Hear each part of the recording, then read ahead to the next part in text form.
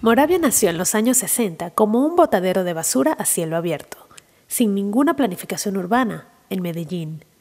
En 1983, la ciudad decidió dejar de usar los espacios como vertedero, pero los conflictos internos en Colombia hicieron que miles de desplazados llegaran de todo el país. Moravia se convirtió así en el hogar y el sustento de muchos de ellos. En su peor momento, el basurero llegó a tener 17.000 habitantes y alcanzaba 70 metros de alto. Hoy, Moravia es uno de los motores ambientales y culturales de Medellín. Pero ¿cómo pudo este lugar pasar de relleno sanitario a jardín? La respuesta está en la ciencia y su relación con la comunidad.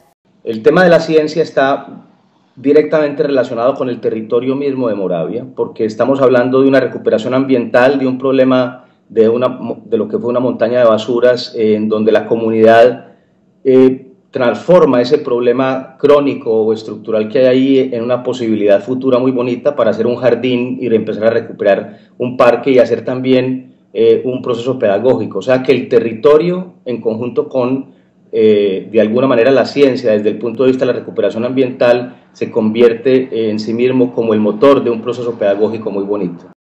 Moravia tiene como vecinos a muchas de las instituciones más importantes de Medellín, entre ellas el Jardín Botánico, el Parque Explora y la Universidad de Antioquia, que han jugado un rol fundamental en su recuperación. Y sus habitantes se sienten orgullosos de las relaciones que han creado. La ciencia juega mucho, porque es que aparte de que hemos aprendido qué es la tabla periódica que está enterrada allí, ¿sí?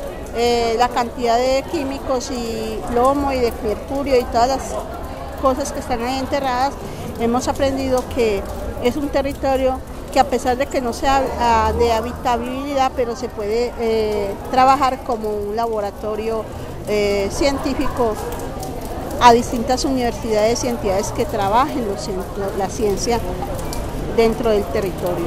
Ellos están investigando continuamente qué es lo que está arrojando ese botadero de basura a cielo abierto, que nunca fue tratado. La ciencia siempre está a la par investigando con los científicos para ver qué es lo que se va a hacer en ese cerro.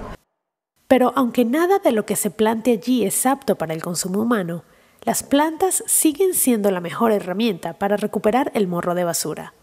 Con humedales, plantas ornamentales y flores, los jardines comunitarios han traído esperanza a Moravia. Allá las plantas salen altamente contaminadas. La descontaminación del suelo se hace a través de la fitorremediación y la bioremediación. La fitorremediación que quiere, que quiere decir que se hace a través de las plantas y la bio que se hace a través de los microorganismos. Todo proceso pedagógico que incorpora de alguna manera o seduce a la comunidad de, de ayudarla a desarrollar y también de permitir que, que ella misma se conozca mejor es muy importante. Moravia, un ejemplo de que puede haber grandes beneficios cuando ciencia y comunidad trabajan en equipo.